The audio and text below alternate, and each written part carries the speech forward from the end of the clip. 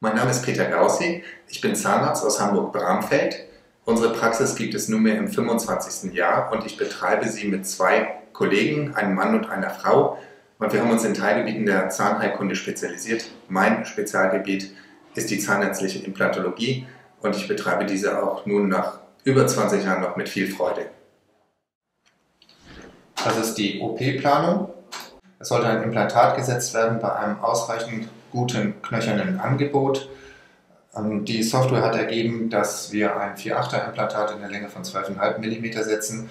Ähm, in die Operation hatte aber auch eine Periimplantitis-Behandlung auf der rechten Seite an einem Alioloco gesetzten Implantat 1.3 äh, beinhaltet das auch, ähm, wo wir eine Knochentransplantation durchgeführt haben, um den fehlenden Knochen auf der vestibulären Seite zu ersetzen. So, einpassende Schiene.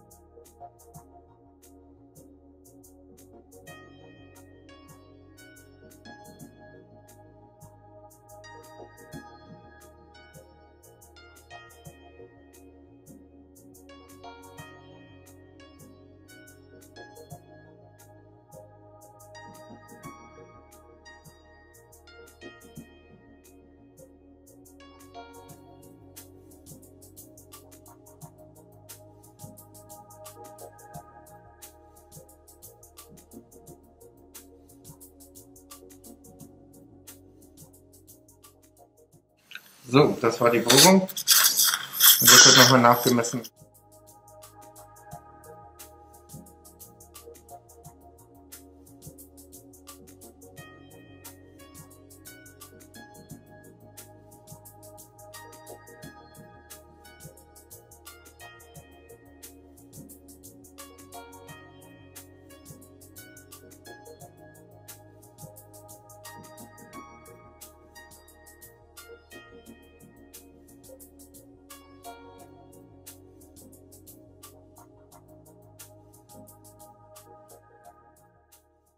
So, jetzt machen wir noch eine intraoperative Abformung.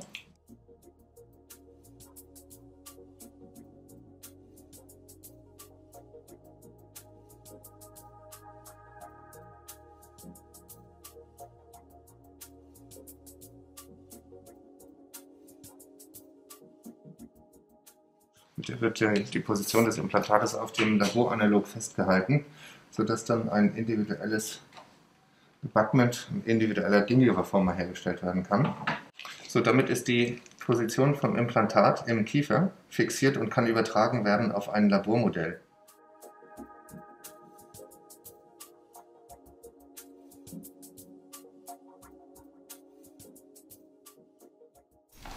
So, das Epithel muss natürlich nach oben.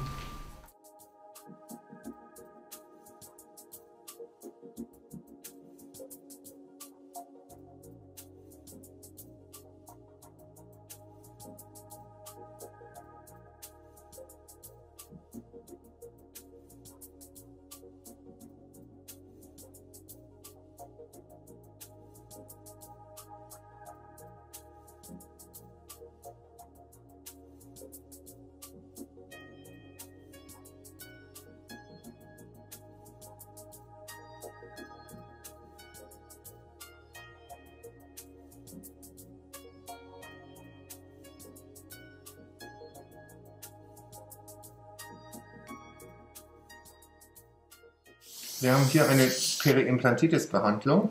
Ähm, das einteilige Implantat hatte in den oberen drei Gewindegängen eine deutliche, einen deutlichen Knochenabbau, sodass die Gewindegänge frei lagen und wir uns dazu entschlossen zu haben, eine Politur durchzuführen. Das ist jetzt ähm, präoperativ schon gemacht worden. Und jetzt wollen wir noch die freiliegenden, von Knochen bedeckten Gewindegängen äh, im mittleren Bereich abdecken mit Knochen und den gewinnen wir aus der Region hier in diesem Bereich. Dazu brauchen wir einen Knochen in einer Länge von ca. 8 mm mal 5 mm.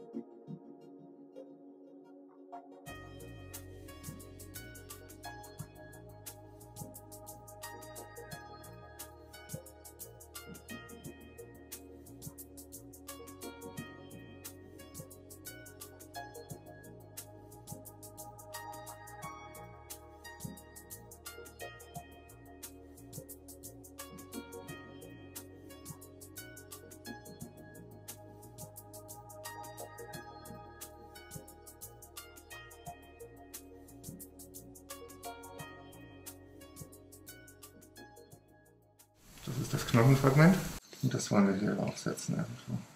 So, wir verwenden sehr gerne Eigenknochen für die Transplantation und auch für die Augmentation, weil es das niedrigste allergene Potenzial hat und sowohl eine osteokonduktive als auch eine osteoinduktive Wirkung hat, anders als die Knochenersatzmaterialien.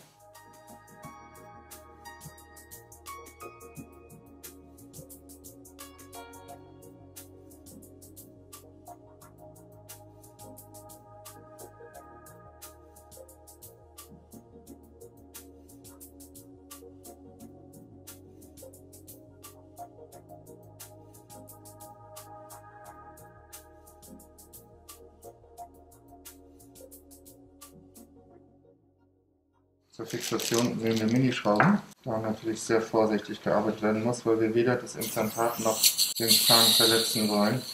So, wichtig ist, dass der Knochen fixiert ist, aber beim Reinschrauben nicht bricht. Wenn man das mit einem drehmomentgesteuerten Motor macht, dann ist das eigentlich eine ganz verlässliche Sache. So, jetzt werden die Kanten noch entfernt.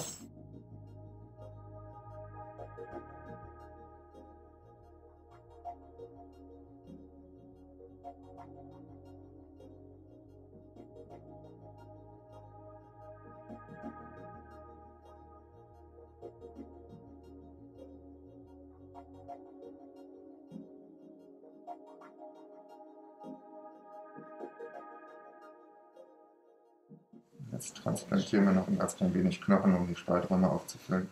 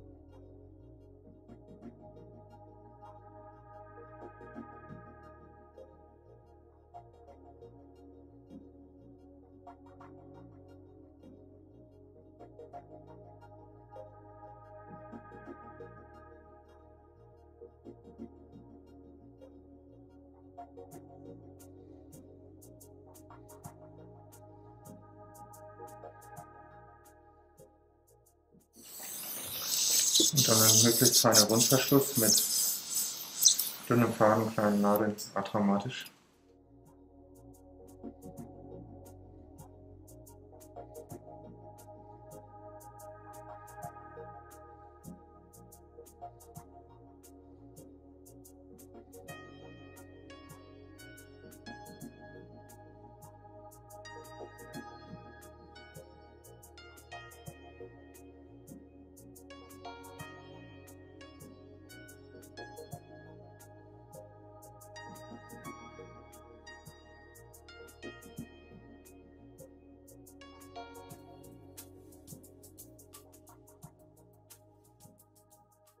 So Ziel auf dieser Seite ist zunächst einmal ein reizfreie Verhältnisse um das Implantat herum.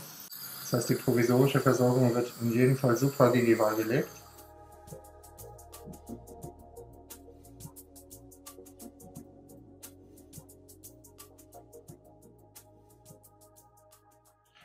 Der Einsatz der Bohrschablone und der Planung durch die Magellan-Software zeigt, dass exakt wie in der Planung durchgeführt das Implantat gesetzt werden konnte. Auf der ähm, von der Patientin aus gesehen rechten Seite sieht man auch noch die kleine Schraube, welche zur Fixation des Knochenblocks diente.